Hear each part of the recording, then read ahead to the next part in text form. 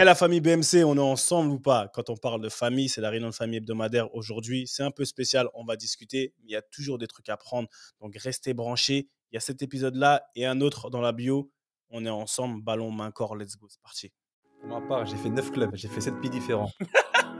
J'ai signé, deux contrats le 31 août. Je me rappelé mon premier banc contre le PSG avec Metz au parc. J'étais tellement content, j'étais fou. Alors mon coach, avant l'échauffement, je dis coach, je suis grave pas bien. Il m'a dit, hé, c'est pas grave, tu restes sur le terrain, tu parleras moins, c'est tout. Ah, tu sors un super match. Ladies and gentlemen, bonjour à tous. Je m'appelle Sébastien Bassong, aka Baby Bass, et je vous souhaite la bienvenue dans Ballon, Main, Corps, l'émission de la génération 86, accompagné de mes frères depuis plus de 20 ans, de mes acolytes, de mes partenaires in crime, Ricardo Facci, aka Ricky Friandiz et de Quentin Westberg, aka Q, l'américain. Ballon main corps, c'est une réunion de famille hebdomadaire. L'émission qui t'ouvre chaque semaine les portes des secrets liés à notre passion commune, notre vision du football, notre ADN, nos expériences sur et en dehors du rectangle vert. Alors, si t'es intéressé à découvrir comment l'homme derrière le footballeur vit sa vie, quand le rideau s'ouvre et surtout quand il se ferme, les challenges qu'il rencontre, la manière de gérer le quotidien, les moments clés, les erreurs à ne pas faire, crois-moi, tu es au bon endroit. On a plein de choses à te raconter. J'espère que tu vas passer un super moment en notre compagnie. De toute manière, c'est parti. Ballon, main, corps. Let's go Le ballon, les mains, le corps. D'accord? Ballon, main et corps. Salut à tous et bienvenue dans un nouvel épisode de Ballon, main, corps. BMC, la réunion de famille hebdomadaire. Comme d'habitude, ça bouge pas. Un petit peu, un petit peu tristounet, un petit peu dans... Voilà. Mais... Friandise, comment ça va? Ouais, comme tu le dis, hein, un peu euh, tristouné, toujours euh, un peu, euh, on va dire, secoué. Hein, même si je sais que j'avais pas les mêmes rapports que, que, vous, les gars, hein, que ce soit toi, Seb, ou notre, notre invité. Tu vas l'introduire par la suite, mais touché, touché, parce que Soulé, voilà, Soulé Bamba, c'était vraiment une personne qu'on connaissait, même de loin, de par, de par sa carrière, de par son, son statut, de par ses ses épreuves aussi. Donc forcément, on est tous euh, touchés. La famille du football est touchée. Donc, euh, donc voilà, il y a son, il y a sa, son enterrement, hein, si, je peux le dire ainsi, qui va être bientôt, euh, à l'heure où on enregistre. On enregistre. Donc voilà, c'est encore une, pensée pour lui. Mais toujours, toujours assez secoué par, par cette, cette, cette nouvelle. Et dans la vie de Ricky Friandise, à part ça, on va?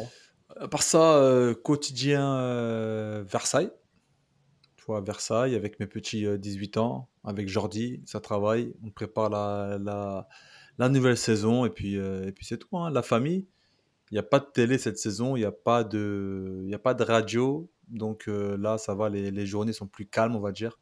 Mais sinon, le, la passion reste la même, tu connais, tu connais l'animal. Oh, on connaît l'animal, il bouge pas. Etiel, franchement, décor, comme je te dis en off, qui me fait un peu frétiller, tu vois. Comment va Jack Steller Comment tu vas? Comment ça va? Raconte-nous. Comment va ta tête? Comment va la vie de Quentin? Et hier, ça dit quoi? Ça dit quoi? Ben, là, sur, la, sur, la, sur la digne lignée de Ricky, hein, euh, secoué tu vois, par, par, par la, triste nouvelle de ce week-end.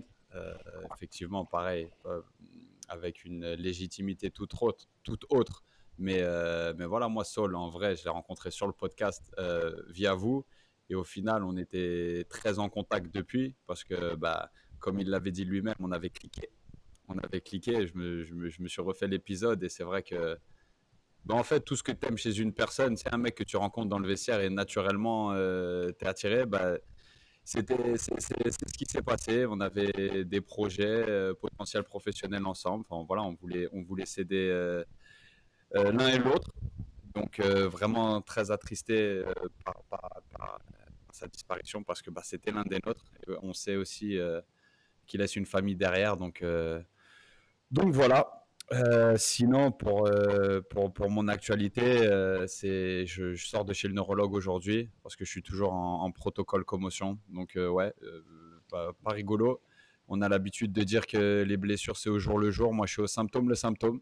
C'est-à-dire que, en fonction de, comment je me sens, dictera ma reprise sur les terrains.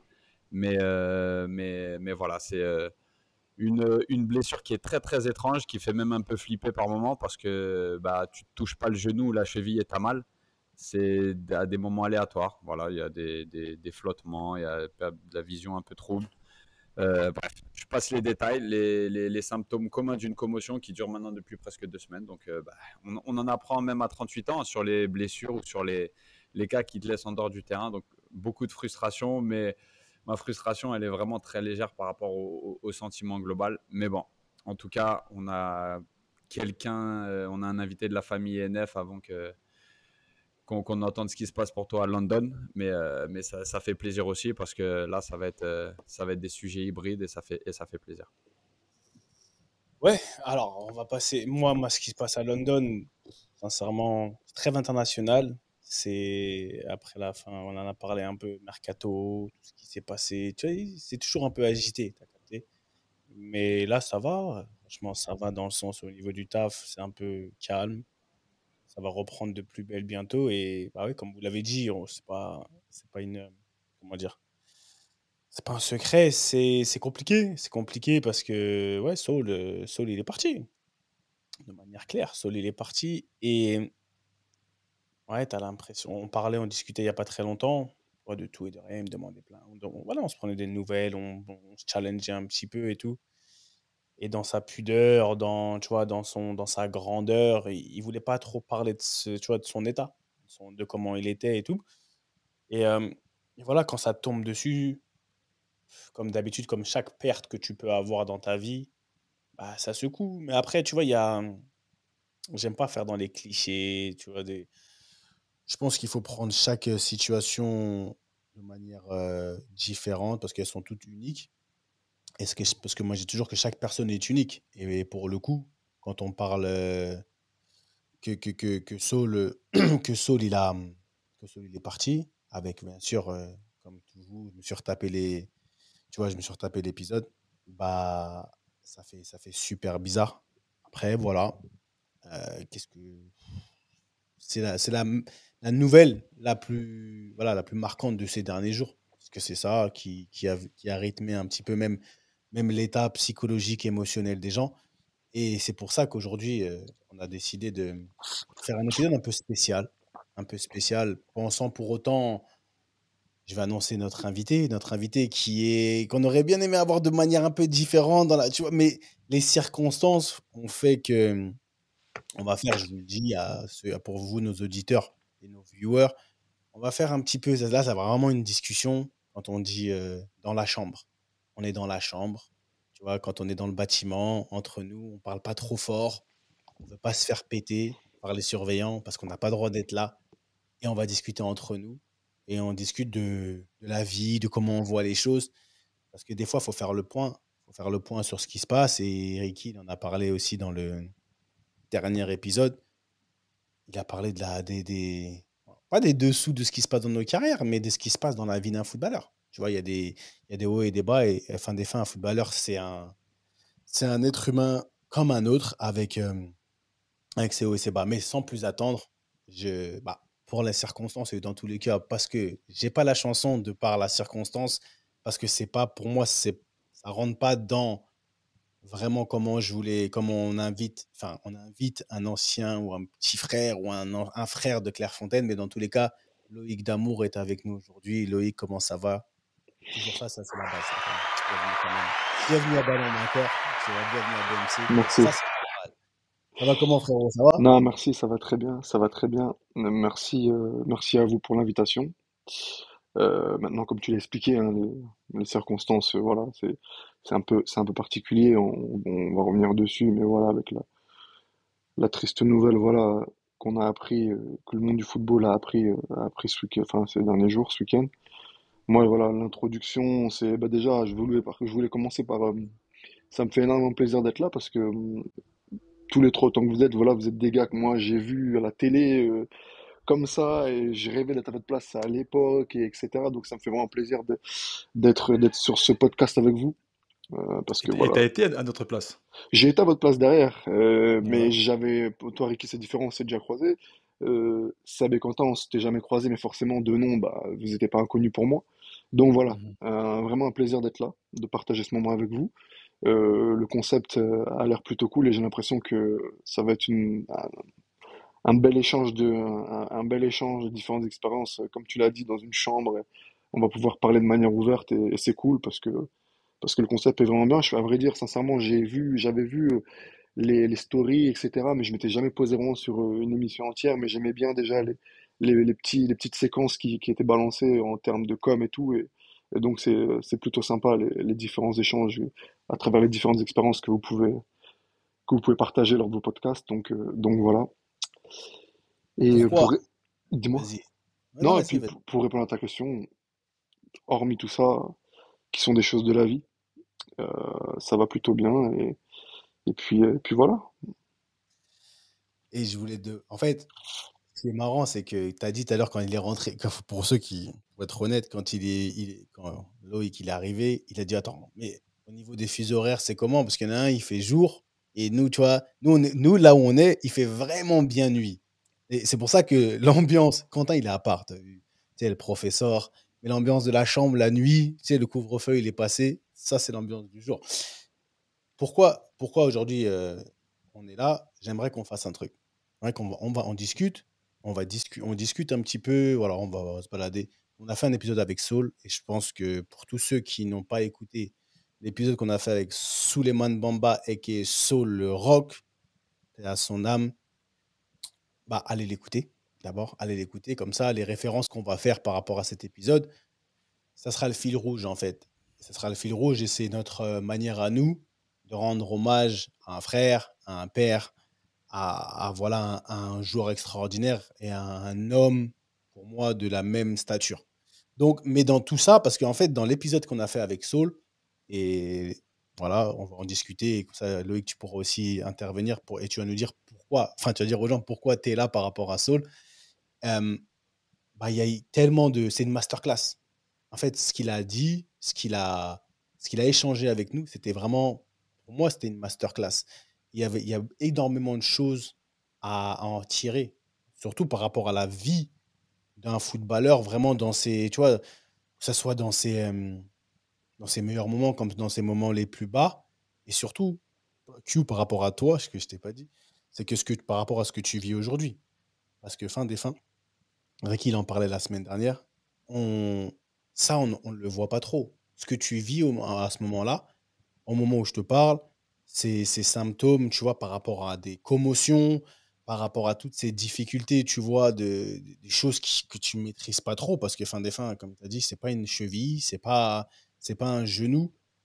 Et euh, notre frérot qui est parti aujourd'hui, voilà, ça, en fait, ça, fait, ça fait réfléchir. Tu dis, et moi, je vais vous poser la question, la première question, que ce soit vous, qui peut parler d'aujourd'hui lui, même toi, Loïc, toi, Ricky, dans, dans toute votre carrière, à quel moment vraiment vous êtes senti, il m'arrive un truc là, c'est- je maîtrise pas, c'est dangereux, ça peut me faire peur limite, tu vois, parce que les peurs, les peurs qu'on vit des fois avec certaines pathologies qui peuvent nous arriver, c'est, eh, des gens, ils, comme tu disais, Ricky, les gens ils voient pas ça, tu vois, ils le voient pas, mais ça fait partie du quotidien. Donc, euh, tu enfin, après, euh, je pense, je sais pas si euh, les autres ils, ve- ils veulent ou ils peuvent partager.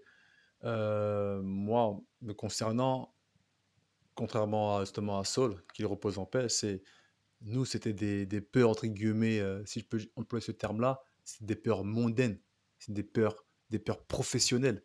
Moi, par exemple, j'ai eu eu peur quand je me suis, euh, quand je me suis euh, euh, comment on rompu mon tendon d'Achille en 2013 à Ajaccio. Et je me suis dit, putain. Et tu vois, j'ai galéré pour revenir. Tu vois, protocole, post-opération, c'était un peu chaud. Tu sais, le tendon d'Achille, c'est, c'est pas un muscle, c'est un tendon. Donc, ça prend du temps à se cicatriser, à revenir, à, à, se renforcer, tout ça, des protocoles à avoir, de la patience à avoir. Et il y a un moment, j'arrivais plus à lever ma jambe, enfin à, lever ma pointe de pied. Tu vois, j'arrivais pas, j'arrivais plus à me mettre sur la pointe des pieds. J'arrivais plus à sauter en fait.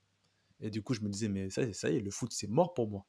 Et là, j'ai eu peur. Ma, ma, ma véritable peur que j'ai eue dans ma carrière, d'un point de vue physique, c'était ça. C'était pas, je risque, je risque de, bah, de mourir, d'y laisser ma peau parce que j'ai des problèmes cérébraux, j'ai des problèmes de santé, tu vois, des problèmes assez graves, entre guillemets. Et pour le coup, comme je te l'ai dit, bah, nous, on a eu, enfin, en tout cas, moi, pour ma part, j'ai eu des peurs, on va dire, professionnelles. Peur de de, de, de, de- avoir de club, peur de plus. de... Certes, on parle d'intégrité physique encore, mais ça touchait pas. euh, là, c'était pas une question de vie de mort, tu vois. Donc, euh, j'o- j'ose même pas imaginer le combat qu'a qu'a qu'a mené euh, Saul et la manière dont il a, dont il a traversé tout ça. Et vu comment, euh, comment il a su, rebondir et comment il s'est battu et tout ce qu'il a fait aussi avec cette maladie-là, c'est exemplaire et jusqu'à présent, c'est pour ça que voilà, il faut, on, célèbre un, un grand homme. Consultant un Bein, il était là, il pétait la forme. Malgré tout, il est parti coacher en Turquie jusqu'à Adana là-bas. En plus, là-bas, il fait chaud. Adana, il fait très très chaud là-bas. Pour ceux qui connaissent mes, mes, mes Turcs. Et en tant que numéro 1, à 39 ans aussi, jeune coach. Tu vois, il, aurait pu rentrer dans notre fil rouge aussi, hein, Sol. Hein. Avec, on parlait de Rosenior, on parlait des jeunes coachs, des, des qui arrivaient à Marseille, des Franquès, tout ça. Sol, il aurait très bien pu rentrer dans ce truc-là. Et voilà, en tout cas, grand respect encore une fois à lui. euh, en tout cas, on va, on va continuer à le, à le célébrer, mais euh, on en, on en parlera. Mais en tout cas, là, pour ma part, c'était que des peurs, euh, des peurs professionnelles, entre guillemets, si je peux le dire ainsi. Vas-y, Quentin, à toi l'honneur. Merci, merci pour cet honneur. Non, moi, c'est c'est vrai que c'est particulier parce que moi, j'ai jamais eu peur. Le, le- enfin, alors, jusqu'à présent, on va dire, parce que dans le foot, je me dis depuis le début que je maîtrise rien. En fait, euh, on, on en, on en a parlé plusieurs fois, mais moi, dès Clairefontaine, euh, dans un, avec, euh, avec euh, bien sûr des grosses pincettes, ça a toujours été un peu la galère. Tu sais, moi, j'avais un, un an d'avance scolairement. Donc quand j'étais au lycée, vous étiez au collège et j'arrivais 20 minutes en retard à tous les entraînements. Et moi, ça me rendait fou à l'époque, tu vois. Donc c'est un, c'est des petits problèmes dans le, dans, dans le spectre et encore plus dans le contexte maintenant. Mais c'est un truc où ça a toujours été un petit peu la galère. Donc j'ai jamais rien attendu du football. Je me suis jamais euh, senti comme, euh, comme, comme, comme, euh, comme, comme, comme si le football devait me donner quelque chose. Donc, c'est un détachement. Pendant l'USNA, quand, quand, quand le club explose et que je me retrouve quatre mois sans club, que je suis à Toulouse, que j'ai même pas un terrain pour m'entraîner, qu'il a fallu aller.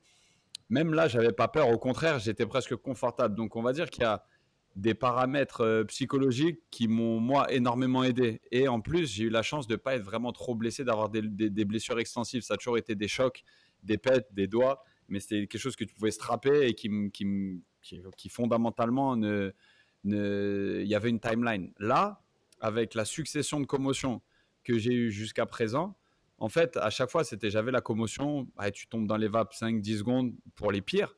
Sinon, c'est juste, voilà, ça te choque un petit peu sur le moment. Tu prends tes précautions 3-4 jours, mais tu as zéro symptôme. Là, j'en ai eu deux coups sur coup.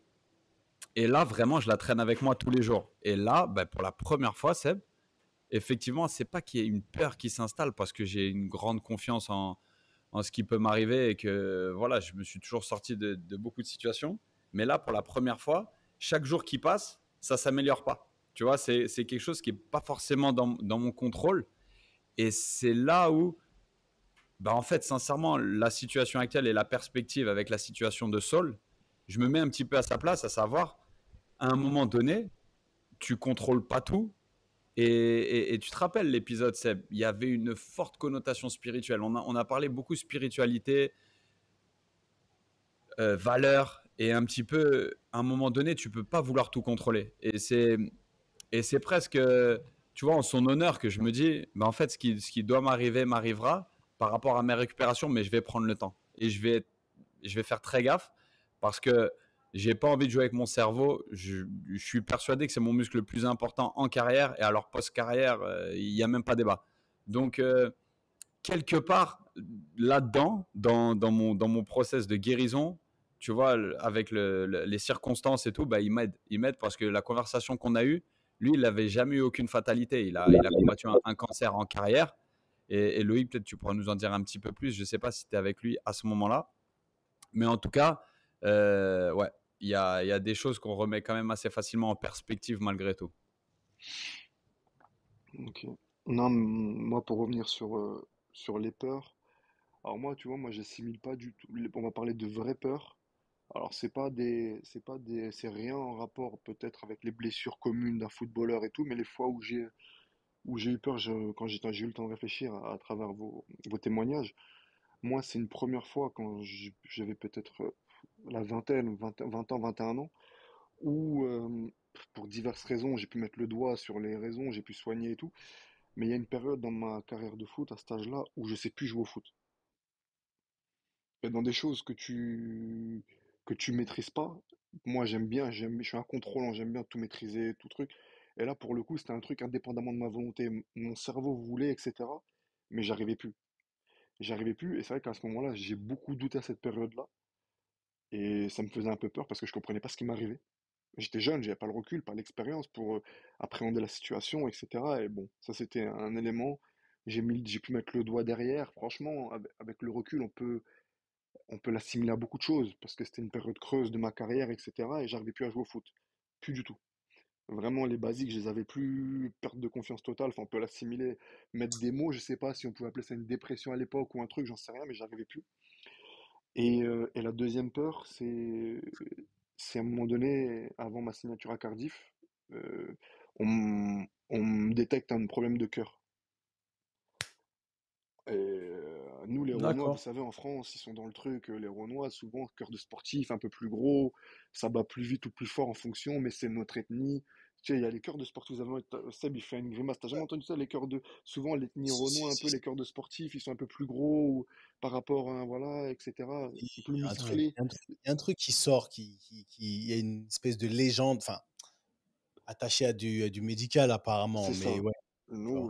Euh, les cœurs de sportifs sont plus musclés, plus gros que la normale, et nous, dans nos ethnies, nos trucs, c'est ce qui m'a été expliqué dans tous les cas. Et en France, c'est un truc où ils s'arrêtaient pas sur ça. En gros, ils étaient habitués. Et donc, moi, ascenseur émotionnel, un petit peu, euh, pour, pour parler un petit peu, du coup, moi, ça m'est venu où, où c'est l'ascenseur émotionnel, parce qu'à ce moment-là, pour moi, j'ai le sentiment de, de, de, changer de vie, clairement, parce que pour moi, dans ma carrière, il y a une anomalie qui s'est passée. C'est-à-dire que vous allez, tu fais, tu fais pas Bourg-en-Bresse Ligue 2 à Cardiff. Ça n'existe pas. Bourg-en-Bresse, Cardiff, ça n'existe pas normalement. Donc ascenseur émotionnel, sauf que moi j'arrive à Cardiff, tout se passe bien et tout, mais avant d'homologuer le contrat, je rentre dans la, En plus l'anglais était très approximatif à l'époque, donc je rentre euh, dans la salle avec le docteur et là il fait une tête comme ça, il me dit que j'ai un problème au cœur, il va falloir attendre 48 heures pour homologuer, là je fais une batterie de tests, etc. Et 48 heures, bah, loin, tout seul, dans un hôtel, il y avait mon agent avec moi. Et là, j'ai eu peur, ouais, j'ai plein de trucs qui sont passés dans ma tête parce que ben, on me fait comprendre que mon cœur est quelque chose qui va pas, quoi. Donc Hmm. j'ai vécu 48 heures un peu vraiment stressant. Et au final, En ça plus, c'est la double peine, hein. Ça veut dire c'est euh, le rêve entre guillemets de l'Angleterre, plus le problème cardiaque qui tombe Ouais, dessus. voilà, euh, C'est ouais, la double peine un peu. hein. voilà. Là, c'était les, les- les deux craintes. Forcément, forcément, ça c'était mes deux craintes. Et voilà, c'est pas, c'est pas, j'ai eu un croisé, j'ai eu des choses, mais j'ai jamais eu peur un peu dans ces trucs-là. Même Ricky est au courant pour en revenir, mais j'ai eu un, un accident de moto, moi, en septembre dernier. euh, qui aurait pu être très grave, mais, mais bon, là, c'était pas une crainte parce que, parce que je, déjà, par rapport au foot, ça avait aucun, aucun impact parce que la décision avait été prise. J'ai été éloigné des terrains 5-6 mois. Euh, mais, euh, mais voilà, là, j'ai pas, c'était pas une crainte. Pour, pour parler de crainte, en tout cas, c'était ça. On parlait de crainte tout à l'heure. Bah, moi, c'est ça, mes deux craintes qui me sont revenues pendant vos témoignages. Donc, pas Et du coup, comment ça s'est terminé euh, à Cardiff? Euh, ça s'est terminé que ils ont validé le truc, c'est ok, tous les tests étaient bons. En fait, j'ai fait 48 heures avec des, euh, des patchs, des trucs, un truc, euh, une espèce d'iPad, il y avait mes fréquences pendant 48 heures, machin. J'ai fait des scans, des tests d'effort, j'ai fait la totale, et c'était bon. C'était bon, du coup, ils ont pu homologuer le contrat et tout, donc après, c'était parti, mais ouais, j'étais pas très bien les deux jours là. Voilà quoi. Mais bon, un peu Ouais. stressant, mais bon. À ce moment-là où tu rencontres euh, notre. Voilà, Seb, il est bon parce qu'il rebondit. Il rebondit direct sur le, le truc. Est bon, est Ah, bon. c'est le MC, hein, tu connais, c'est le host. Voilà, hein. bah, bah, les gars, let's go pour parler vraiment du frérot. Vous avez dit, voilà, vous avez, vous avez résumé un peu le personnage à travers votre témoignage. C'est qu'à ce moment-là, voilà, exactement.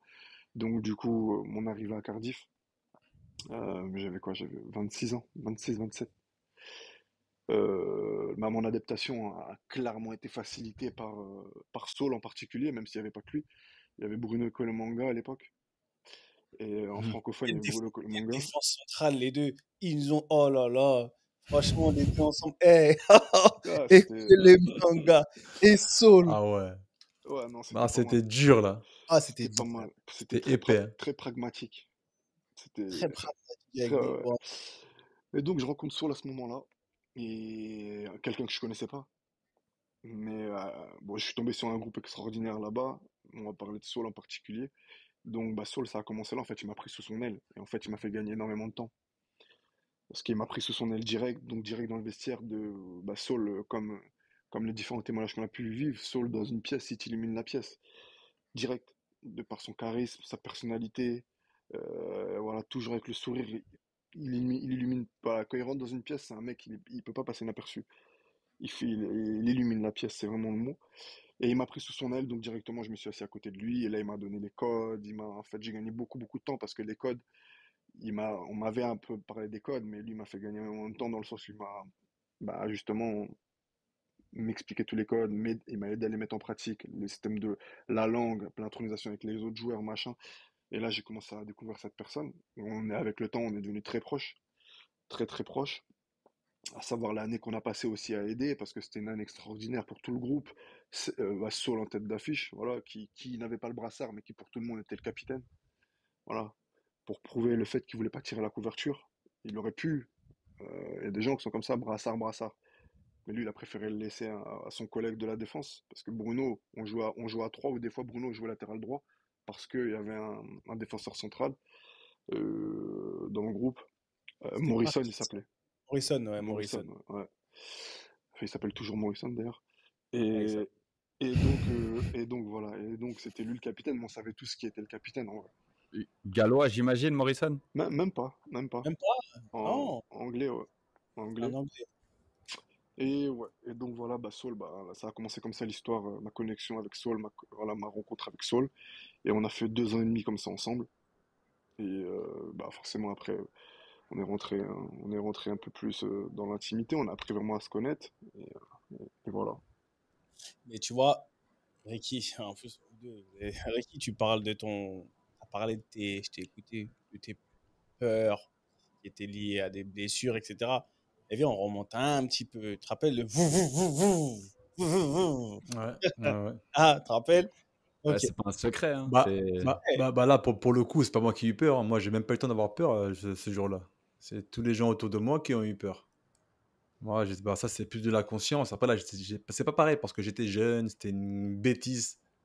C'était un accident, mais que, que j'ai bien cherché. Contrairement, bah, contrairement à, à- Loïc, lui, c'était un accident vraiment euh, purement volontaire. Et puis voilà, de, enfin, comme ça peut arriver à tout le monde.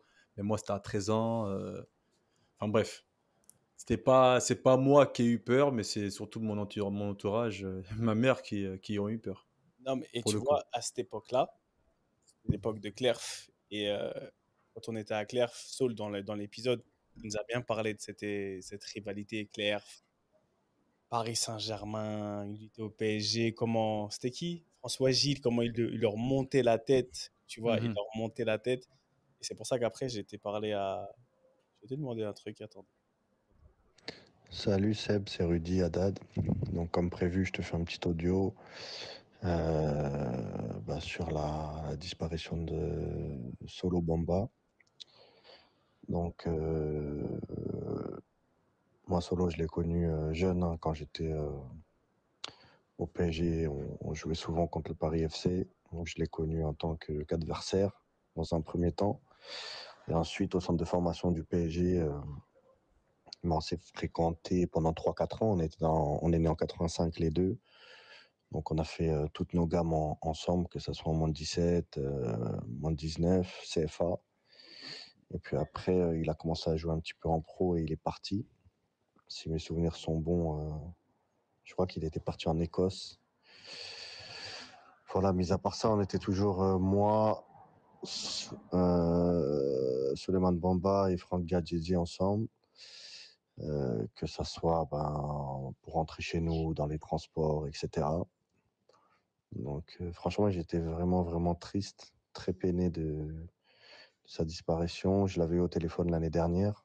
Je savais qu'il était rentré en France, que j'avais croisé euh, son grand frère Yaya, que je connais bien. Donc il m'avait donné son numéro, je l'avais eu. Il m'avait expliqué que qu'il se soignait à Paris. Et, euh, après, je l'avais revu une autre fois. Ben, malgré cette épreuve, il était. euh, c'était Suleiman, quoi. Il était toujours euh, positif, toujours souriant. voilà, c'est ce que j'ai gardé de lui. C'était, je sais qu'il avait ses parents à Paris, dans le 15e. Euh, je crois qu'il a, il a, je sais pas, il a combien d'enfants, mais je sais qu'il a, qu'il a, il a, il a entre deux et quatre enfants, donc ça doit être compliqué pour eux. Mais voilà, c'était, c'était un bon gars, c'était quelqu'un de respectueux, toujours avec le sourire, et il avait, il était charismatique. Depuis jeune, il a toujours, voilà, il prenait de la place, il a toujours été charismatique.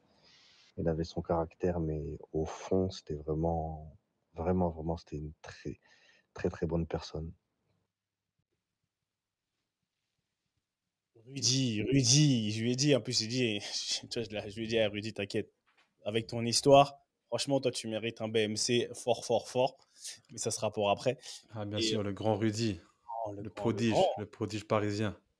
Mais- Et tu vois, là, il parlait de, comme quelqu'un de, tu vois, charismatique qui prend de la place. Et je sais que dans, dans nos carrières, moi, pour en avoir discuté avec lui énormément, quand il en a parlé, ça, ça a résonné dans ma tête. Parce que tu vois, on vit des choses, on vit des choses à des moments où les gens ne se rendent pas compte à quel point ça peut, ça peut toucher. Parce que le mec, il prend de la place. Le mec, il est grand de base. Il est grand, il est costaud. Il est là, tu rentres, bam, tu... il a un sourire 24 carats. Il va forcément prendre de la place. Et, et moi, je me rappelle très bien, et je vais vous demander ce que vous. Enfin, on discute, tu vois, de ces moments où des fois tu prends énormément de place et les gens, ils veulent te le faire payer. Tu vois, et lui, pour le coup, il a quand même réussi grâce à son naturel et à son naturel à toujours rester, tu vois, à pas se perdre. Parce que tu peux très facilement rentrer dans ce délire où tu dis on m'en veut, on veut, tu vois, on veut, me la, on veut tout mettre. Donc inconsciemment, ça va te changer. Pour tous ceux qui l'ont connu, Rudy l'a connu, il, avait, il était petit. Loïc, tu l'as connu à un certain âge. D'autres, ils l'ont connu. Quelle est l'importance dans une carrière de l'authenticité? De l'authenticité, même. Vas-y, Loïc, vas-y. On n'est pas, on est pas, on est pas osé ça. Eh, les gars, eh, non, non, les gars, moi, la vérité, et j'ai mis une story hier, j'ai dit, parce que je voulais pas trop épiloguer, je veux pas sur les stories, j'ai dit un truc, j'ai dit, des, un vrai homme, des, des, des mecs comme lui, des hommes comme lui, j'en connais très, très, très peu. Parce que moi, lui, Saul, moi, si j'ai, moi, je vais parler, je vais parler. Moi, Saul, moi, dans ma carrière, on est comme on est, on peut être aimé, pas aimé des gens, les expériences, les aléas, les trucs, de la, de la rancœur, mais avec le temps, le temps fait les choses. Et, euh, moi, s'il y a un truc, en tout cas, moi, qui me caractérise, qui me caractérise, quels que soient les événements qui puissent se passer entre le- ma relation avec les gens, c'est que moi, je suis reconnaissant de, des, des gens qui ont été sur mon chemin. On parlait de John tout à l'heure un peu en off. Quelqu'un qui m'a fait souffrir, machin bidule, mais demain, je le crois, j'ai de la reconnaissance pour lui, je lui dirai merci. Saul, ce gars-là, il y a trois choses. J'ai trop appris au-delà du fait de la relation qu'on a, qu'on a eue. Saul, tu, disais, il prend de la place. Mais Saul, tu pouvais pas, il les gens, les gens, ils pouvaient pas avoir de rancœur envers ce gars-là. Il était, en fait, c'est paradoxal, mais il prenait de la place, mais il savait donner de la place. Je sais pas si tu me suis. Ça veut dire que Saul, il m'a dit un truc quand je suis arrivé au Royaume-Uni, et il m'a dit quelques phrases, mais qui resteront à vie et qui m'aident encore aujourd'hui dans ma vie. Saul, il m'a dit un truc, parce que moi, je lui disais, parce qu'on parlait français, lui, ne comprenait pas et tout. Et je lui disais, t'es trop fort, toi. T'es trop fort. Moi, j'ai capté son délire, comment il faisait tout ça. Tu, vois, moi, j'aime bien regarder les gens, apprendre des gens, regarder et tout. Et il m'a dit, écoute, Loïc, quand tu connais les règles du jeu, tu sais comment jouer. J'ai dit, ah ouais. Quand tu connais les règles du jeu, tu sais comment jouer. Parce que derrière son grand sourire, parce que là, vas-y, on parle. Sourire, sourire.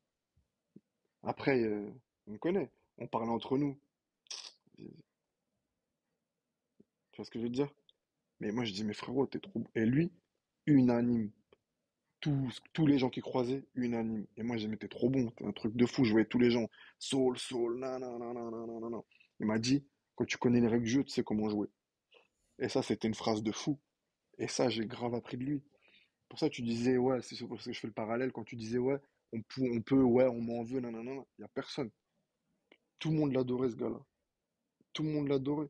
C'était, il Mhm. savait, il savait, il, savait, il, il avait un, un espèce de talent, un espèce de truc. C'est quoi? Il, Il savait comment prendre les gens, c'est ça? Il savait s'adapter aux se- il gens savait s'adapter. Il savait, pour ça, manager, c'était, c'était sa destinée pour lui. C'est un Ouais. talent. Et ça fait partie du talent. Pour moi, ça fait partie du talent. On dit souvent read the room, comprendre les gens, le, comprendre l'environnement dans lequel tu es. Et lui, quand tu parles avec lui, bah, comme il t'a dit, hey, tu vas jouer à un jeu, tu connais pas les règles. Après, tu te plains que ça se passe pas bien. Apprends les règles du jeu et tu vas gagner. Tu vas est d'accord que le football, c'est un jeu dans son ensemble. On est d'accord qu'on est dans un monde, entre guillemets, parallèle. C'est un- bien il y a des codes Ah, particuliers. un monde parallèle, le foot, ne cherche pas. Tu peux, tu peux pas, il y a des règles. Il y a des règles. Et lui, il les, Mais a- tu il- vois, il les connaissait par cœur. il avait beau connaître les règles.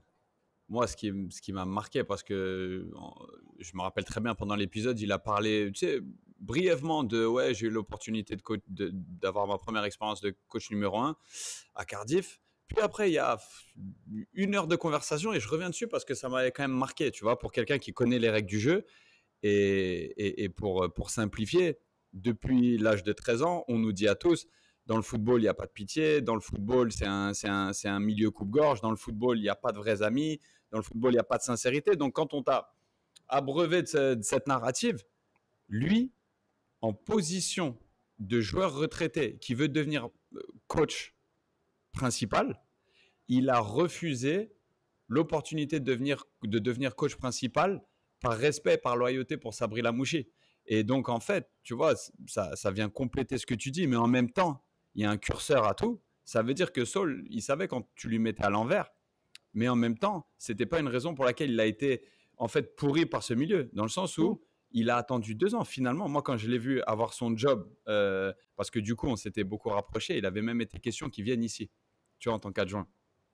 Mais en fait, il a attendu deux ans et demi pour une opportunité en tant que coach principal, alors qu'il l'avait eu, mais par loyauté, il ne l'a pas accepté. Donc, tu vois, pour rebondir sur ce que tu dis, c'est fort. Parce qu'il y en a très très peu à sa place qui n'auraient pas saisi cette opportunité. Et ça vient Ouais. bien valider ce que tu dis d'un côté, mais de l'autre aussi, où il sait à qui et quoi C'est faire. un, c'est un homme.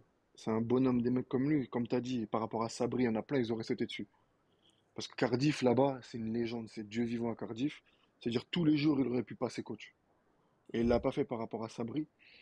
Et c'est un homme. Pourquoi? Parce que ça, c'est la seule personne. Je dis bien la seule personne. Et j'ai pas fait. euh, Moi, je me raconte pas d'histoire. Moi, j'ai fait ma carrière en accord avec moi-même, etc. Et il y a mieux, il y a pire. C'est pas, c'est pas le débat de ce soir. Le truc, c'est que j'ai jamais rencontré un homme, et ça, je comprenais pas. Souvent dans les vestiaires, et vous allez être d'accord avec moi, parce que ça, c'est pas, ça, c'est peu importe le niveau, c'est comment t'es fait. Moi, je comprenais pas, tu vois. Et lui, il me reprenait tout le temps de voler. Limite, il il voulait me frapper, il me disait non. C'est là où je suis pas d'accord avec toi. Tu sais, souvent, t'as cette position de ouais, je suis joueur, mais comme je joue pas, là, je peux rien dire. Là, quand je vais être bon, là, je vais pouvoir parler.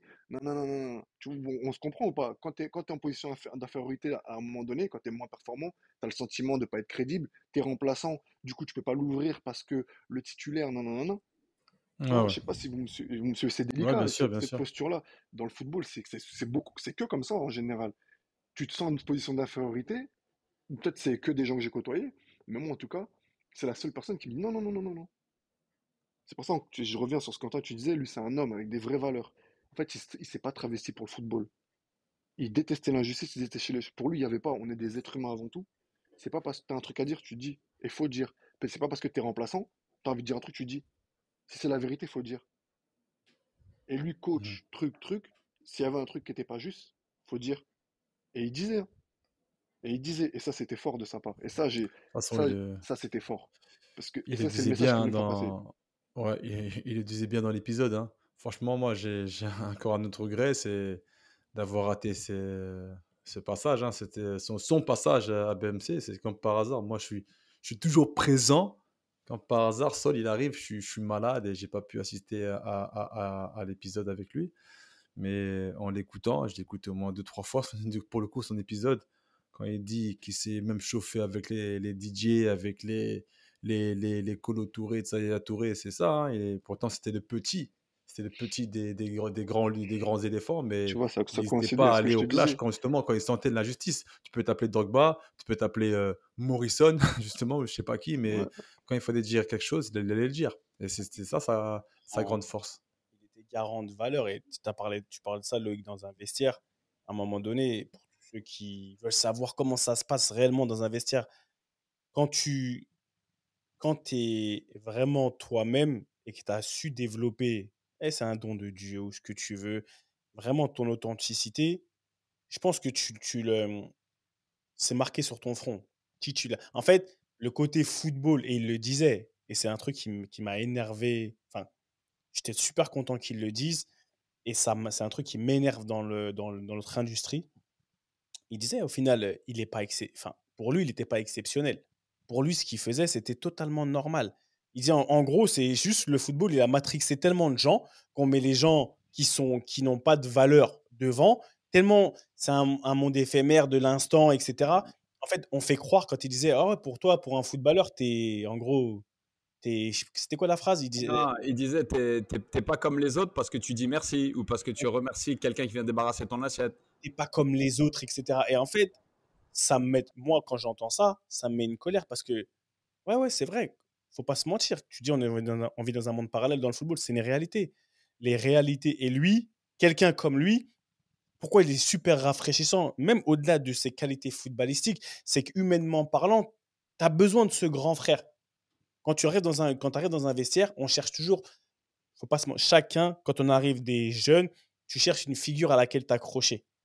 Et si malheureusement tu, tu mets le doigt sur la mauvaise personne, souvent, quand tu regardes bien, c'est tu vois le comportement de cette personne-là qui va déteindre sur le petit jeune. Et aujourd'hui, Mm. un mec comme Saul qui est dans le vestiaire, humainement parlant, le mec, tu dis limite, j'ai retrouvé ma, on dirait mon, mon père et ma mère qui veulent m'inculquer des bonnes valeurs, elles sont dans lui. Et que ça, c'est pour ça que j'ai dit et je répète et je le dis avec beaucoup de d'intensité, de, de passion, arrêtons de toujours glorifier. Tu vois, comment tu avais dit quoi, Q, dedans? Oh, me donne pas cette opportunité. Glorifying bullshit. glorifying bullshit. Parce qu'à un moment donné, on est là, ouais, certes, on vit dans un monde et c'est strass et paillettes, on a des peurs, on a des, des, des- on se sent pas bien, les gens ils sont dans, un- dans une insécurité constante. Mais quand, moi, je veux pas qu'on attende que quelqu'un, à son âme, il parte, pour qu'à un moment donné, se dire, ah ouais, c'est vrai que il faut quand même mettre en avant les, bonnes personnes. Même dans un vestiaire, même si cette personne-là, ne te fait pas gagner des matchs, etc. Mais dans l'absolu, elle, f- elle f- elle- elle concourt au, bien-être de ton équipe. Et, pour moi, ça, c'est des trucs qui sont, qui sont immuables. Quand je l'entends dire ça, je me dis, ouais, bâton. C'est ça que je veux mettre en avant. Que ce soit lui, et lui encore plus, parce qu'aujourd'hui, on parle de lui, parce que dans lui, c'est un fil rouge total, le mec. Ce qu'il a fait, quand il a. Moi, j'étais en Angleterre, bah, tu étais là. Quand il passe quelque part, c'est limite, on des fois, on ne lui parlait même pas de football. Les mecs, ils voulaient juste être à son contact. Parce que, tu vois, il respirait une certaine. euh, déjà, une certaine classe, un certain aura, une, tu vois, une assurance, et limite, euh, il touche, euh, tu vois, Ouais, dire. ouais, il y avait un, que- il y avait un, il y avait un côté euh, comme ça, grave, clairement. C'est... Non, mais c'est fort. Euh, c'était, grave ça. Il y avait un truc. et cet homme, il avait un truc, un don, un truc. Et, et là, pour revenir un peu sur ce que tu disais, à contrario, ça parce que pour moi, c'est une notion de respect aussi. Et ça, tu vois, moi, j'ai beaucoup appris de lui. Et c'est, moi, clairement, j'étais, j'ai, moi, le Royaume-Uni m'a beaucoup changé. Les expériences à l'étranger, vous êtes passé par là. T'apprends avant ton football, Mm. c'est autre chose. Mais la- le voyage, j'aime bien dire cette phrase-là. La vraie richesse, pour moi, bien entendu, c'est la santé. Qui plus est l'épisode. Et pour moi, c'est le voyage. Et moi, le, le- le Royaume-Uni, ce que ça m'a apporté de rencontrer des gens comme Saul, en l'occurrence, mais j'ai grandi, j'ai grandi, j'ai appris grave. En l'occurrence de Saul, tu parlais de modèle, de référent. Moi, c'était mon référent. Il m'a pris sous son aile. J'ai appris alors les, principes de jeu à l'anglaise, en plus avec Neil Warnock, coach pur anglais, nanana, ok. Mais dans les valeurs humaines, dans les valeurs humaines, ce que j'ai appris de lui, parce qu'il y avait aussi un épisode qui m'a choqué, mais pour moi, les Français ne peuvent pas comprendre, sans être péjoratif, sans faire de clichés, mais vous, vous allez me comprendre. Pour moi, c'est une, une notion de respect. La même manière dont il s'en- il s'entendait bien avec tout le monde, l'intendant, le truc, nanana, parce qu'il est respectueux, s'il fallait s'embrouiller et se tenir par le col, ça se tenait. Warnock, 70 ans, Saul, c'est son petit, à la mi-temps d'un match. Il a chopé Warnock comme ça, ils se sont chopés comme ça, 70 ans. 70 ans, ils se sont chopés. Parce qu'il y avait une injustice, Saul n'était pas d'accord, l'autre n'était pas d'accord, ils se sont levés, ils se sont attrapés. 70 ans. Mais c'est une forme de respect. Saul, après, il est redescendu, machin, après, ils ont discuté. Mais voilà, sur le coup, voilà. Et ça, c'est, ils se disent les choses. C'était des vraies relations. Et un autre, un autre truc, quand moi je raconte ça aux plus jeunes ou dans des histoires, ils me disent, ouais, mais non, mais ça, c'est pas bien. Euh, pour parler de respect, ils s'entendaient super bien avec tout le monde, notamment les intendants. C'était le premier. Noël, régaler l'intendant, faire un petit geste, parce que, parce qu'ils bossent vraiment, les intendants, c'est vraiment un truc. Mais par contre, quand on bosse, on bosse. Quand on est à Sheffield d'un match d'hiver, les chaussures, elles sont mouillées.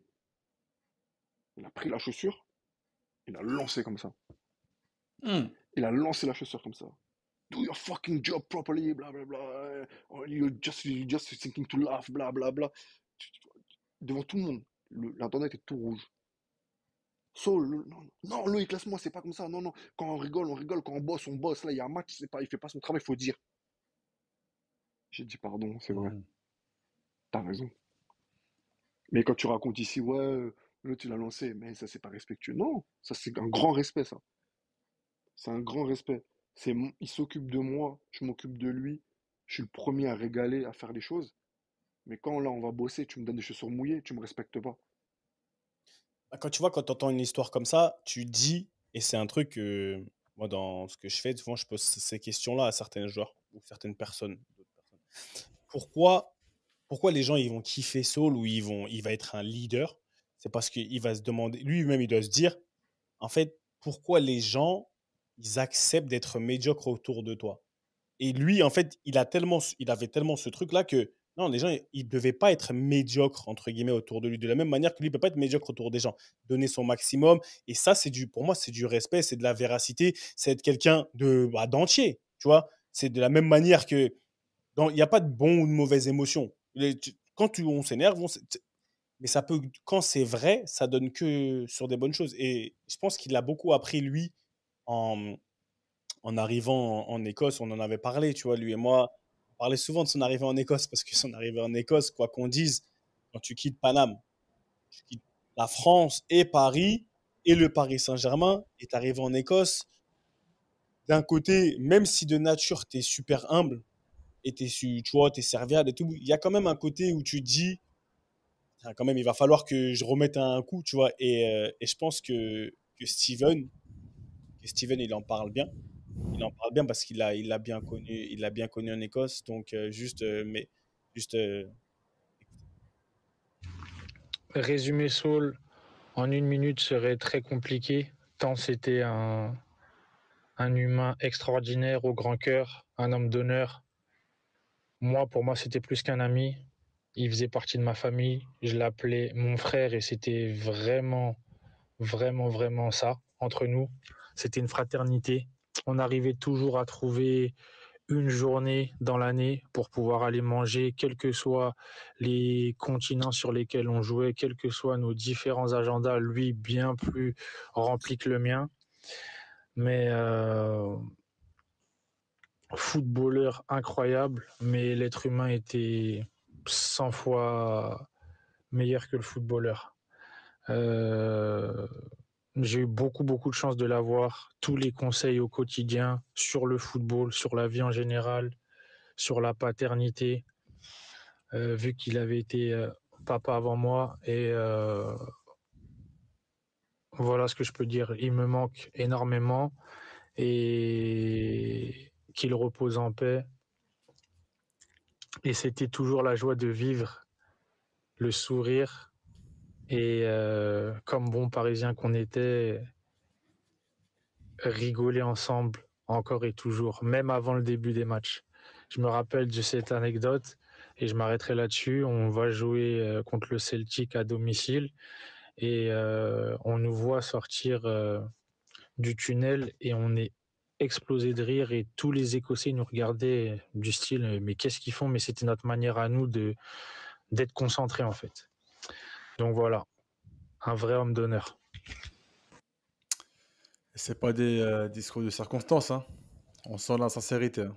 Vraiment, Mais tu vois, dans, ce qu'il dit, ça me rappelle pas mal de choses qu'il nous avait dit, Seb. Euh, bon, déjà, quand il dit comme bon parisien, on ressouligne euh, les produits de région parisienne, tu vois, que, tous autant qu'on est, et Loïc, tu le dis, hein, quand, quand on bouge à l'étranger, on n'est pas nécessairement français, on est presque parisien avant d'être français, parce que ça vient avec un certain, un certain grit, tu vois, un, certain caractère.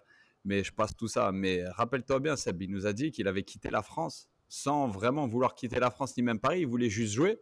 Et il nous avait raconté que en France, on l'avait un petit peu sali. Quand on entend tous ces témoignages 10-15 ans après, il est parti de France avec l'étiquette qu'on lui a collée de fouteur de merde.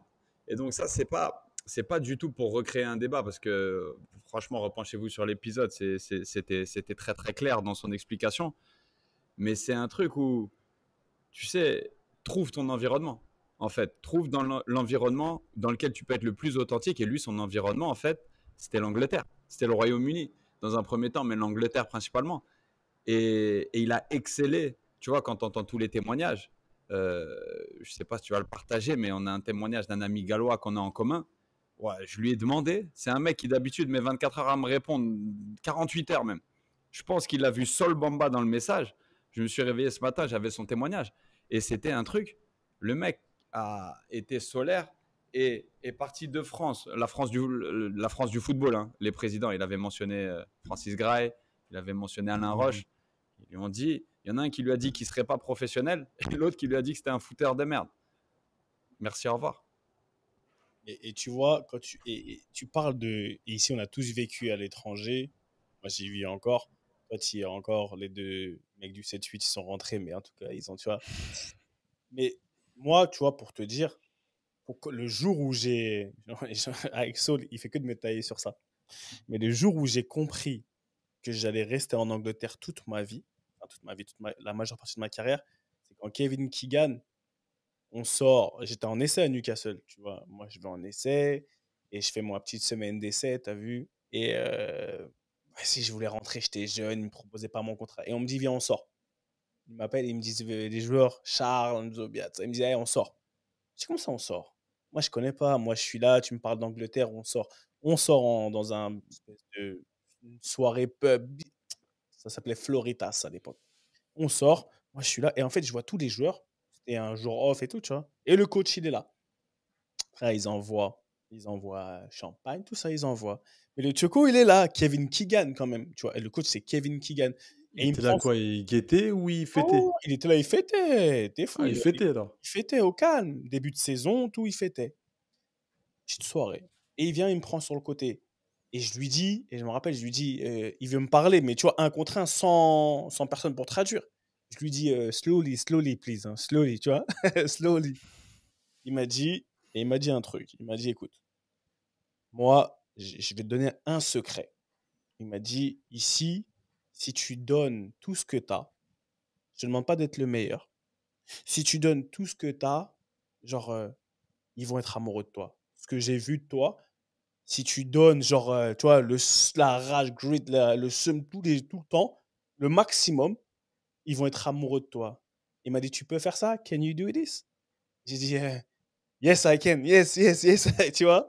À partir de là, il m'a vacciné. Et c'est c'est là où j'ai compris. Et j'en parle souvent avec Saul. J'en parlais. Saul dit, hey. dit, pareil. Il m'a dit, mais pareil. Il m'a dit, Seb, quand j'ai compris que si j'étais moi-même, c'est pour revenir à ce que tu dis, en fait, cet environnement qui te permet d'être limite toi-même. Et j'ai vu que les, les gens, ils venaient me parler, mes, mes voisins, j'étais tout seul, ils venaient me faire à manger. Enfin, tu vois, j'ai trouvé un truc. J'ai dit, mais non, c'est. c'est- Et Saul, souvent, on parlait de ça, on, parlait de ça sur, euh, sur BBC, parce qu'on était souvent ensemble sur BBC. Et, et c'était extraordinaire. Donc, euh, ouais, c'est, et c'est normal qu'aujourd'hui, comme tu as dit, hein, il soit amoureux, il soit, il soit, il soit, il soit un anglais. Les gens, ils l'aiment. Comme tu l'as dit, hein, c'est devenu un vrai blanc anglais de. Un vrai gallois là-bas là. On t'entend pas que tu as, ton micro. Et, et il lui avait dit, c'était comme si tu étais un des leurs, un vrai blanc anglais de Winchester. Des Winchester. Winchester. Winchester. T'es un phéno, toi. Non, mais c'est la parole. Mais tu, en fait, vous vous rendez même pas compte. Euh, Loïc, qui peut s'en rendre compte. Je te jure à quel point les gens, ils kiffent Soul en, en UK. Déjà, à Cardiff, dans, dans- c'est un truc de fou. Non, Quand il arrive, il fait son salut comme ça, tu vois pas. Il marquait de fou, il faisait ça. Les gens, ils se garde à vous pour le Non, mais c'est. Moi, je me rappelle son tir au but là qu'il avait mis là. C'était à Old Trafford, hein, ça, à Manchester? Non, mais. En Cup ou en Coupe de la Ligue, je sais plus. Laisse tomber, frère. Laisse tomber. Non, mais laisse tomber, lui, mais... mais en plus, moi, ça m'avait... Après, peut-être, toi, Seb, tu peux, tu peux plus témoigner, mais on était en championship, tu vois, machin. Mais tu vois, à quel point les mecs, ils kiffent. Enfin, je sais pas. Je sais pas si c'est commun d'être un genre de championship. Après, on va pas faire de cliché, mais voilà, l'homme qu'il est, machin. Moi, championship, tu vas, tu fais, t'es sur Sky, tu fais ci, tu fais ça, ils te proposent un contrat, machin. Je sais pas si c'est commun, mais en tout cas, pour moi, je trouvais ça fort. Je dis, putain, français, avec tout ce qu'on a expliqué, qui arrive, qui a retourné ça comme ça. Puis il a mis, pas, bah, bah, bah, pas dire il a mis le pays à ses pieds, mais en tout cas, tous les gens, le chemin parcouru, c'était fort. Parce que on est unanime sur le fait, surtout comment c'était parti. Moi, pour moi, Saul, toute l'entièreté qu'il a, avant, c'était peut-être différent. Mais toute l'entièreté qu'il a, il aurait jamais fait carrière en France. C'est trop, trop entier pour la France. Comme ça, comme quand tu parlais d'environnement, c'est exactement ça. On voit plein de joueurs, quand ils partent, bizarrement, ils explosent, etc. Et à l'inverse, t'en as qui partent, ils, ils implosent. Parce qu'après, ils reviennent. C'est question d'environnement et trouver finalement le. Tu as bien résumé, euh, Quentin, c'est trouver l'environnement adéquat. Et c'est vrai que quand, quand tu as cette personnalité-là, ben, l'environnement et la mentalité anglo-saxonne, ça colle. Tu vois, c'est là que tu vois que t'as- tu, donnes, tu redonnes un- une autre corde à l'arc de, de l'étranger encore. Parce qu'on parle beaucoup du côté financier, on parle de l'entraînement, on parle de travail, on parle de mentalité. Mais c'est ça en fait. C'est l'atmosphère, c'est c'est ton caractère qui fit en fait avec les pays où tu vas. Mm. Moi je sais, moi j'étais, enfin, je pas, je- on n'est pas là pour parler de soi, mais moi c'est c'est exactement ce que j'ai ce que j'ai vécu quand je suis parti en Italie par exemple. Quelqu'un de solaire, quelqu'un de passionné, quelqu'un de bah, qui kiffe le football. J'arrive à Italie, qui plus à la Roma, bah, je me sens comme un poisson dans l'eau. Parce que je me dis, voilà, c'est, c'est, pour moi, c'est, c'est le football qui me parle en fait. La Serie A, c'est le football, c'est le football qui me parle. Et je pense pour le cas de, de, de, bah, de, de Sol, bah, même de toi, hein, euh, Loïc, même de toi, Seb, jusqu'à présent, là, depuis 2007, tu es, là-bas, ou 2008, je sais plus. Donc, euh, tu trouves, euh, tu trouves chaussure à ton pied, en fait. Tu trouves l'environnement Mhm. adéquat à, à ta. Même, pas à, ta carrière, à, à ta vie, en fait, simplement. Hop, Ça va au-delà de la carrière, en vrai, c'est ça. hein. Parce que moi, aujourd'hui, si tu me demandes dans un monde idéal si j'ai le choix, est-ce que j'habite là? Non. Moi, quand je pars au Royaume-Uni, dans ma tête, c'est déjà footballistiquement, déjà, c'est, je, je- je donne tout, mais je reviens plus. Malheureusement, ça a Mm. duré 4 ans et demi. Été en Écosse, ça a bien tourné, je suis rentré. Les aléas de la vie, mais en vrai, dans ma tête, c'était, je reviens plus. Je suis là, je reviens plus. Et, et j'ai fait des vrais amis aujourd'hui en Écosse, en l'occurrence, qui n'ont rien à voir avec le foot, qui étaient à mon mariage. Là, en, là, en juillet, on est parti chez eux. Euh, ça va au-delà du foot. Les gens, c'est c'est un autre délire. C'était mes voisins. Un Q, il peut en parler. Ah, Q, peut en parler de ça? C'est un américain. Mais avant que tu en parles, Q, quand même, il faut donner du respect aux Gallois qui parlent de ça.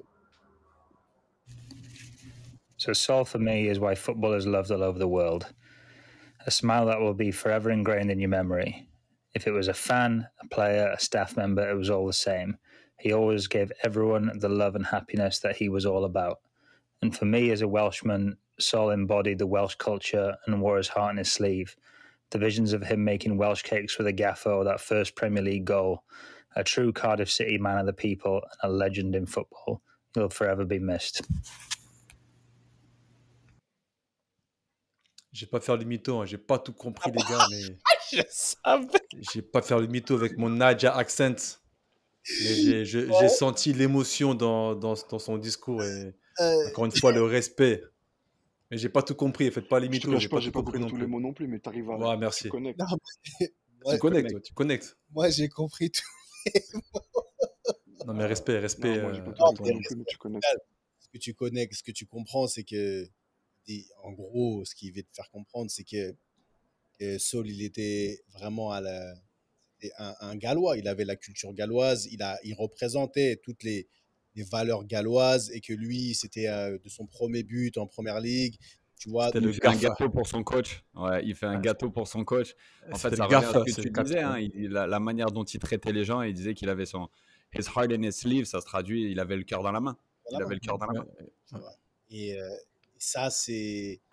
C'est pour, mais pour un vrai Gallois, parce que là, pour le coup, c'est pas un- lui, c'est pas un- Tu, tu l'entends le- l'accent qui vient de, de la grisaille et de la pluie. C'est vraiment un Welshman, tu vois. Ça, là, il, lui, c'est pas Cardiff, là. Il vient de, il vient de, de Wrexham, lui. Ah Mais ouais, tu sais que ce mec-là, Tommy Williams, c'était mon prépa physique à Toronto et euh, qui, qui l'a connu à Cardiff et à Leicester.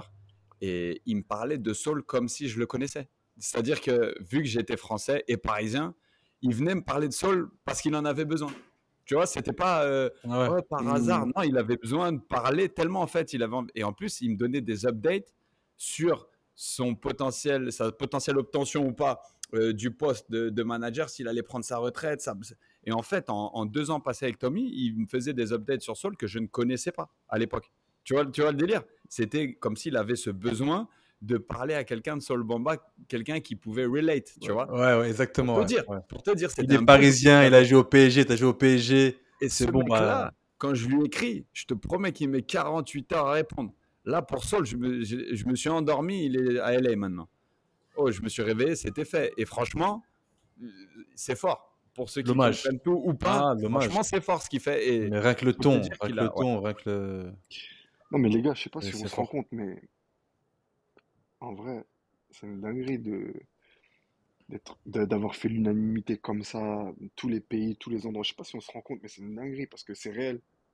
C'est le mec, il, est- il avait un que truc, comme t'as dit tout à l'heure, tu touches, tu fais un truc. Je sais pas si on, je sais pas si on capte le délire. Non, on capte. Je pense que les. Et c'est pour ça aussi que. dinguerie. Non, mais il faut. Il faut et il l'a dit. Lui-même, il l'a dit. Il faut mettre au-delà de lui. Il parlait pas de lui. Parce qu'il va pas parler de lui, on, qu'on connaît.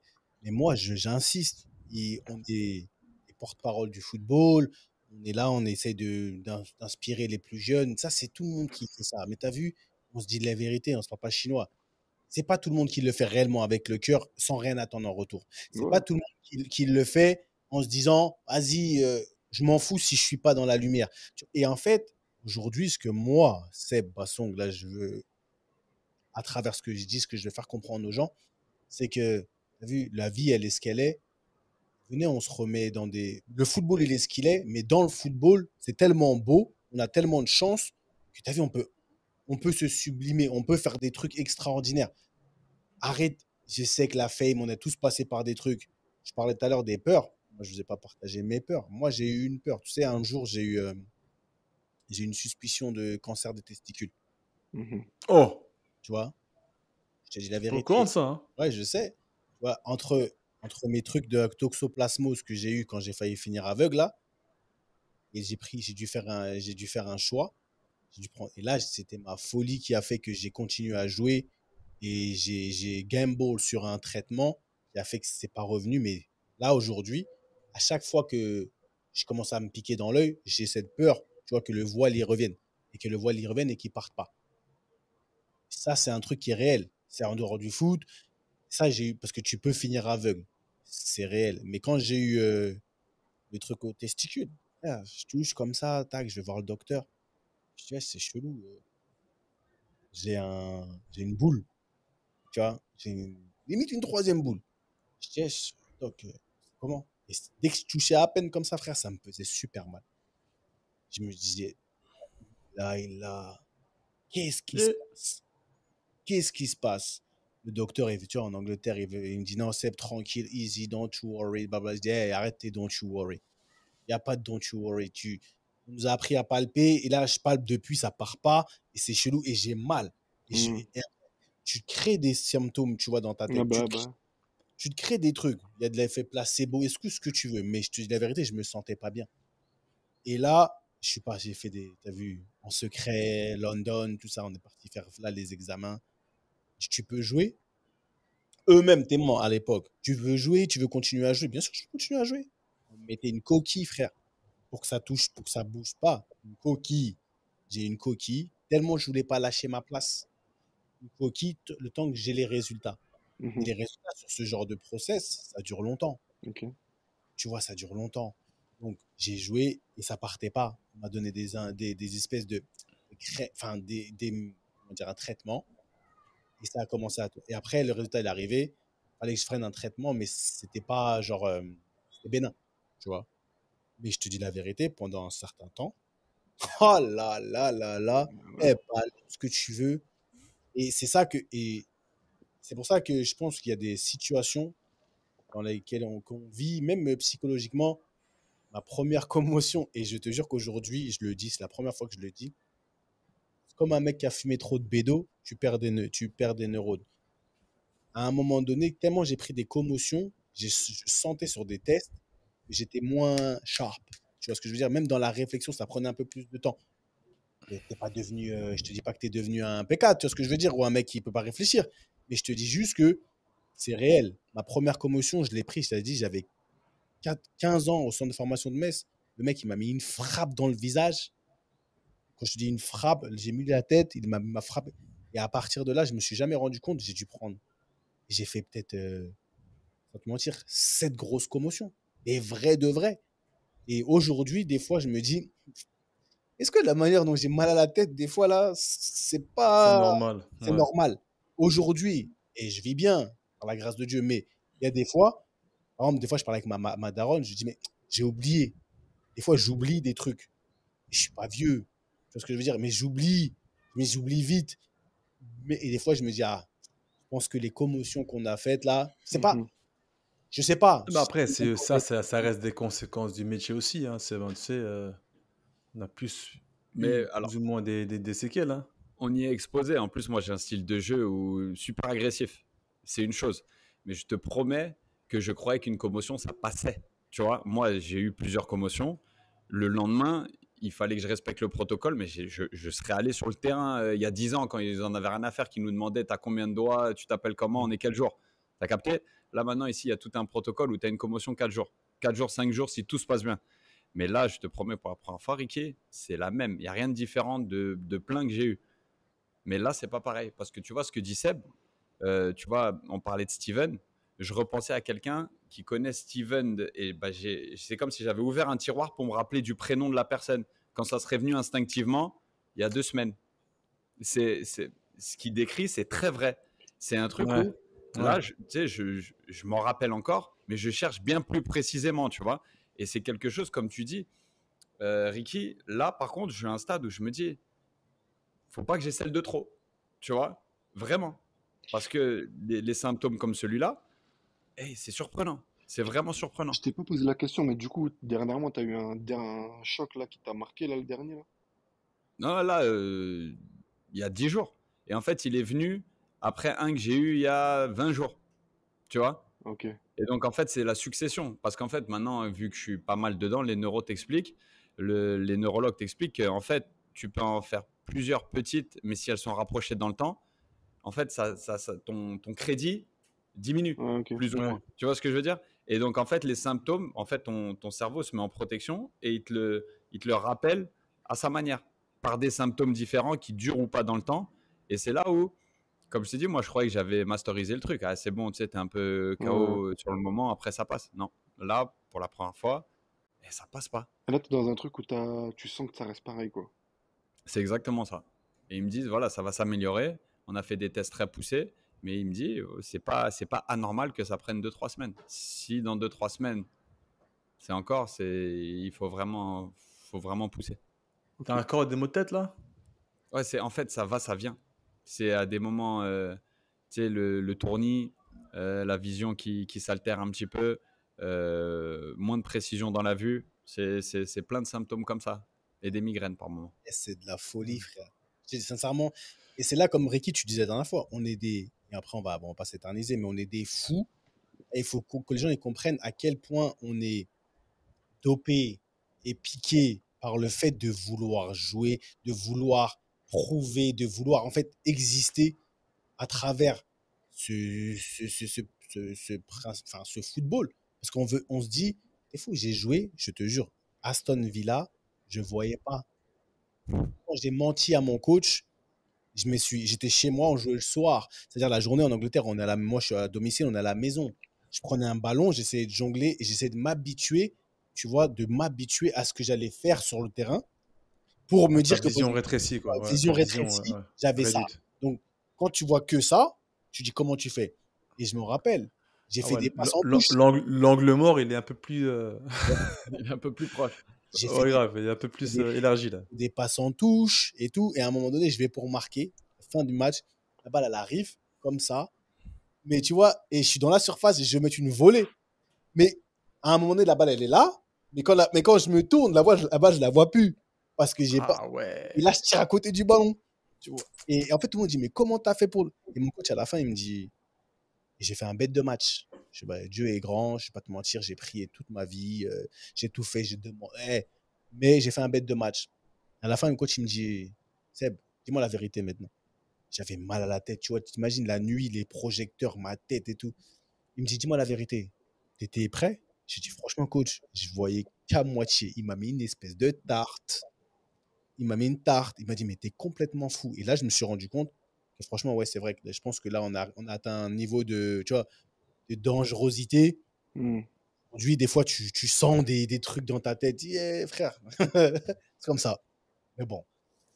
Mais là, aujourd'hui, je pense, au niveau de ce sujet-là, comme tu as dit, on va pas s'éterniser, je pense qu'aujourd'hui, ils font beaucoup plus, avec tout ce qu'on entend, ils sont beaucoup plus précautionneux, si je puis dire, sur tous ces trucs-là.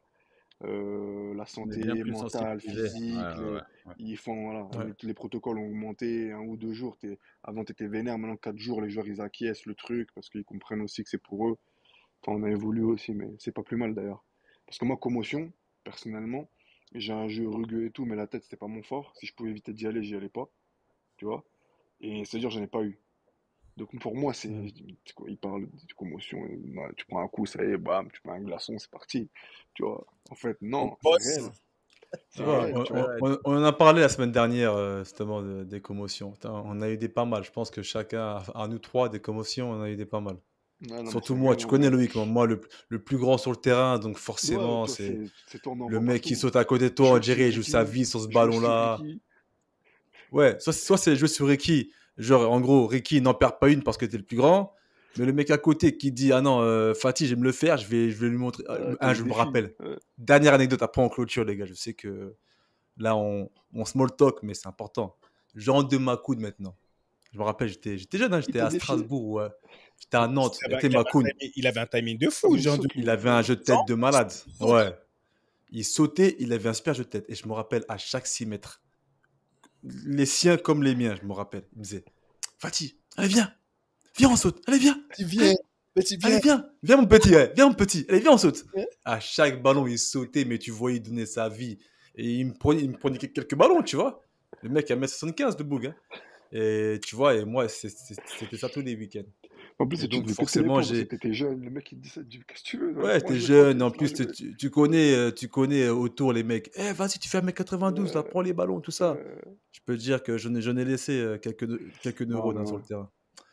Enfin bref. Ouais. Enfin bref, mais bon, en tout cas, je pense que c'était euh, très important de, pour nous de, d'en parler parce que, comme on l'a dit au départ, son passage dans BMC, c'est une masterclass que je vous, encore une fois, que je vous recommande d'aller réécouter parce que vous pouvez faire pause, prendre des notes et, les, faire référence à votre vie, que tu sois footballeur, que tu sois pas footballeur. À un moment donné, tu, vas te retrouver dans certaines situations et je te dirais, vas-y, tu sais quoi, écoute un peu ce que Saul il disait, c'est très inspirant et ça va te permettre à un moment donné de te sortir. Il te donne des outils, il te remet, tu vois, il te remet les choses la tête, la tête à l'endroit, il te remet la tête à l'endroit.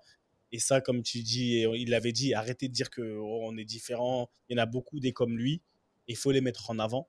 Et, et voilà. Bon, ça dit quoi pour tous ceux qui se demandent euh, la portée de ces, ces hommages, qui ne le connaissent pas forcément, les, les plus jeunes. Allez écouter l'épisode et vous allez comprendre pas mal de d'hommages et pourquoi tous les clubs, tous les gens qui l'ont connu euh, lui rendent hommage comme ça. Ouais. Mhm. Bon, Loïc, tu fais quoi ce week-end? En début de semaine, là, tu fais quoi ce week-end? C'est quoi ta... Tu fais quoi ce week-end? Tu, tu Ce vas où? Week-end? Ah, Non, ce week-end.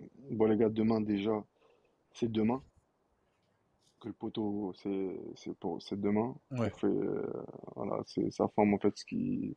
Elle a envoyé un petit message un petit peu un peu un comité parce que c'est ce qu'il voulait aussi, un truc un peu restreint et tout. Et c'est demain du coup qu'on va rendre un dernier hommage à Saul pour les gens qui qui ne savent pas. Donc euh, sa femme était avec lui en Turquie et, euh, et donc elle l'a accompagné jusqu'au bout. Donc ça c'est bien. Et un dernier hommage à Saul, c'est qu'il a fait ce qu'il voulait jusqu'au bout. Parce que ce qu'il faut savoir, c'est que hum, il savait ce qu'il en était, parce que ça lui a été notifié. Mais c'était OK, on m'a dit, j'écoute, mais je prends pas content. j'avance, et puis on verra. Et c'était, moi je veux coacher, donc c'est pas une surprise. Son, agent, tout le monde sait qui c'est, bah, il a trouvé un job parce que Soli voulait. Et, et tout le monde a respecté sa dernière volonté. C'est pas faute de lui avoir dit non, hein, hein, hein, profite ici, les enfants. hein. Non, moi, foot, je veux coacher, je veux continuer ma vie. Je vais faire ce que j'aime jusqu'au bout. Et, euh, et voilà. Parce que en fait, euh, bah, en fait, euh, la manière dont, dont il est parti, c'est à son image. En fait, c'est pour parce que je sais qu'on est sur la fin, donc c'est pour lui rendre un dernier hommage. C'est pour ça que je reparle de ça, parce que très peu de gens le savaient. Mais à l'image de Bean, quand, quand on le voit à la Cannes cet hiver, il allait très bien. Mais en fait, toute l'année, ça a été l'ascenseur émotionnel. En fait, c'était que des allers-retours. En fait, le plus dur, c'était peut-être même pas pour lui, si je puis dire, mais pour sa femme. Parce qu'en fait, euh, elle voit, elle voit son mari qui va bien un mois. Le mois d'après, ça repart il en- repartait en chimio. Il revenait. Ouais, normalement, Inch'Allah, c'est bon, j'ai fait le truc, ça va aller mieux et tout. Ok, hein, il revient trois semaines après. Ça se dégrade, le truc n'a pas marché, il fallait retourner. Et la manière dont, parce que pour le coup, euh, j'étais assez proche de lui cette dernière année, euh, par rapport à la proximité euh, Versailles, le fait de, il était ici soigné à Paris, comme, comme, le- comme, comme les gens le savent. Il habitait à Paris, donc j'étais assez proche de lui cette dernière année. Sans dire j'étais là, pas là, c'est pas le débat. Voilà, été là, j'étais avec lui parce que c'est normal, c'était mon gars, c'était pas, voilà, par rapport à toute la reconnaissance, la relation qu'on avait. Et c'est un mec, jamais il s'est plaint. Eh, franchement, c'était abusé. Parce que les traitements qu'il avait, il avait un cancer. C'était des doses de, des doses d'animaux qu'il prenait. Il était sur son lit, il, il était limite inconscient. Le mec il était sur son lit, il disait la semaine prochaine je vais coacher. Mais le pire c'est pas ça, c'est que ça s'est passé, il a fait. Mais au moment où il dit là, moi je le calcule même pas. Avec sa femme on se regarde, on dit ouais, c'est les médicaments et, et il a fait. C'est c'est c'est- la la l'année là, mais tu parlais de masterclass et tout, mais l'année qui vient de passer, sans faire de sans faire de trucs. C'est pour ça ma femme m'a dit, Putain, mais parce qu'on était assez proches comme je disais. En fait, j'ai même pas j'ai eu une larmichette, c'est quand j'ai posté ma vidéo hier et j'ai regardé le film que Cardiff ils ont mis de 3 minutes là, je sais pas quoi. Mais avant ça, j'avais même pas pleuré. Pas parce que truc, parce que le poteau, il était tellement en accord avec la situation, quand on se parlait, on parlait de la mort normale. Parce que c'est quelqu'un d'entier jusqu'au bout. Après, on parlait pas pendant trois heures. Mais moi, c'était hors de question, et lui, il l'aurait pas apprécié, que j'aille le voir dans la chambre et qu'on discute, et qu'on fasse comme si de rien n'était et qu'on fasse les mythos. Tu vois? Moi, je, moi, je suis trop entier aussi pour ça, et lui, le trop entier, donc ça collait pas. Donc, viens, on en parle, normal. Quand on a quelque chose à dire sur ça, on dit. Et lui, il était tellement en accord. J'ai dit, bah, il est parti en faisant, moi, c'est ce que je retiens. Il est parti en faisant ce qu'il aime jusqu'au bout parce que c'était le foot avant tout. C'était le foot L'Europe, avant tout. C'était le foot avant tout. Qu'est-ce que, frérot, qu'est-ce que tu disais, moi? T'as été, t'as été, annoncé en sursis parce que c'est les faits. Parce que quand on dit tension palliative, pour ceux qui savent pas, c'est genre, rentre chez toi, on peut plus rien faire pour toi, il n'y a plus aucun traitement qui marche, on t'accompagne vers la fin. Parce que c'est ça les soins palliatifs. Et on lui a déclaré ça, on lui a déclaré ça. Et c'est même pas pour raconter la vidéo, c'est pour dire qui c'était jusqu'au bout. Et je sais pas si nous tous là on aurait fait ça. Donc on dit tension palliatif, donc ça veut dire on sait pas quand, mais ça va arriver. Et là-dedans, derrière, t'as sa femme, donc on annonce ça à sa femme, elle est dans tous ses états. Mais le problème, c'est que sa femme, elle, elle reçoit un homme, on l'a annoncé trucs, mais après annoncer ça, le mec, il reprend du poil de la bête et il pète la forme. Sa femme, elle comprend pas. C'est pour ça que je dis, pour sa femme, c'était le plus difficile dans l'émotion. Elle savait pas trop se situer. Hmm. C'était trop dur pour elle parce que, bah, elle comprenait plus rien. Plus avec euh, la langue, machin, et tout ça. Et en fait, limite, le mec, on lui a annoncé ça, il a retrouvé la force pour aller terminer ce que lui, il avait objectif, en fait. Dernier objectif, je vais coacher. En fait, c'était un peu dernier objectif. Je sais pas si tu vois le truc. Mhm. Et, euh, et il l'a fait. Et voilà. Mais alors que 15 jours avant, euh, des traitements de fou, il arrive plus, il arrive pas à parler, les trucs. Voilà, c'était, c'était une dinguerie. C'est pour ça que, en vrai, voilà, franchement. Franchement, tout ce qu'on peut faire, c'est ça.